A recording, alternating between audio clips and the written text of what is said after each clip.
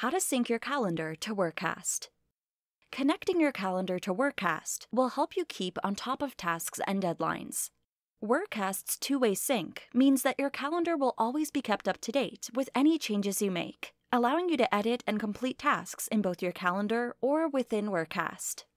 To connect your calendar to Workast, click on Connect Your Calendar. Follow the prompts to give Workast permission to your calendar. Choose the correct calendar in your account that you want your Workast tasks to show up in.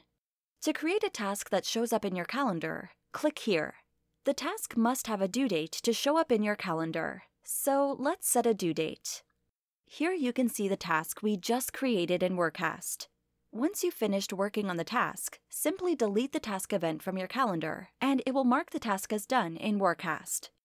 Checking your calendar is a great way to plan out your day.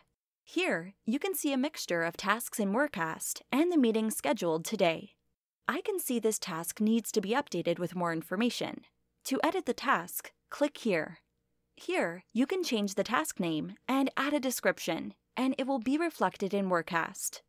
Once you start working on a task, you may not be able to finish it on the due date. Here, you can update the due date of the task in your calendar. This will be updated in Workast, and you can continue working towards the new deadline you have set.